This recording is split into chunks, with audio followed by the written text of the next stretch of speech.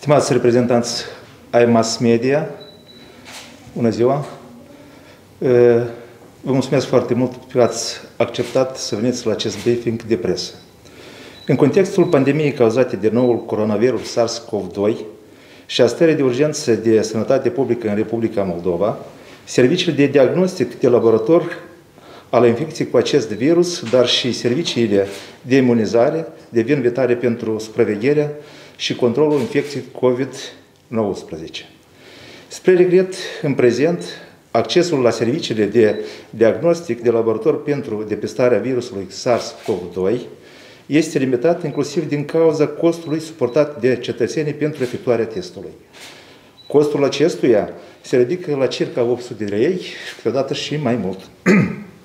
în plus, oamenii sunt nevoiți să apeleze la serviciile respective atât în scop de diagnostic, pentru tratament, cât și în cazul unor deplasări peste hotarele țării. În condițiile de supraîncărcare a sistemului public de sănătate, alternativa oferită de sectorul privat trebuie să fie reglementată și accesibilă pacienților. Totodată, având în vedere că imunizarea populației devine o măsură actuală și eficientă pentru prevenirea primară a îmbolnăvirilor, inclusiv în condițiile în care infecția cu COVID-19 se poate suprapune cu gripa sezonieră, statul trebuie să reglementeze și formarea prețurilor la serviciile de vaccinare care sunt în afara programului național de imunizare. Astfel, autoritățile trebuie să stăvilească și să aplice mecanisme transparente și clare la formarea prețurilor la serviciile respective.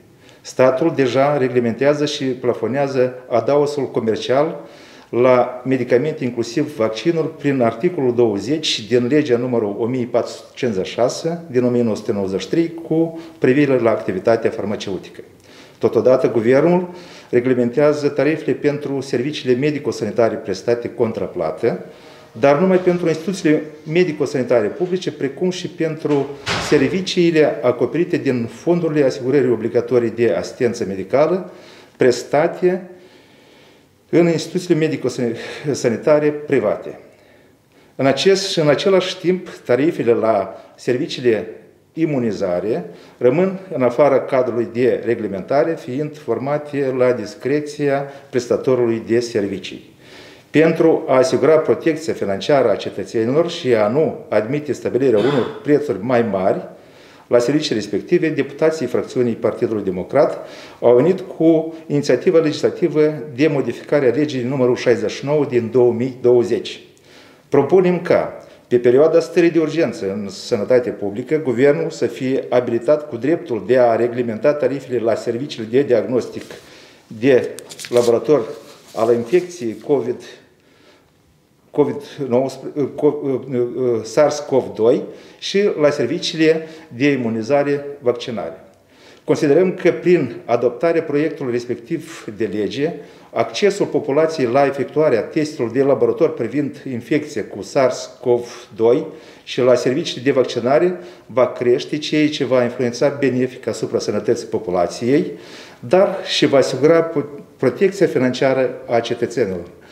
Mizăm pe implicarea și susținerea tuturor factorilor decizionali în adoptarea și implementarea acestui proiect de lege de importanță majoră pentru oameni. Vă mulțumesc!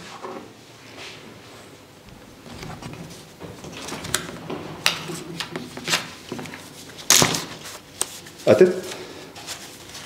Mulțumesc!